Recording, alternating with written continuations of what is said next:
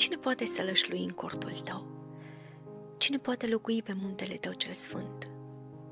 Cel ce umblă în integritate, cel ce face dreptate, cel ce spune adevărul din inimă și nu umblă cu bârfe, cel ce nu-i face rău prietenului său și nu-l face de râs pe semenul său, cel ce disprețuiește pe cel vrednic de dispreț, dar cinstește pe cei ce se tem de Domnul, cel ce nu-și ia vorba înapoi, chiar dacă a jurat spre paguba lui, cel ce nu-și dă argintul cu dobândă și nici nu acceptă daruri ca să-l nedreptățească pe cel nevinovat. Cel ce face așa nu se va clătina niciodată.